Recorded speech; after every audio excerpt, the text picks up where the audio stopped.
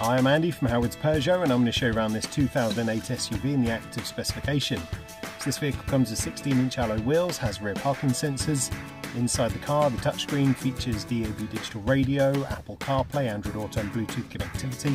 There's also air conditioning, automatic headlights and wipers and the car has cruise control. So let's have a look around.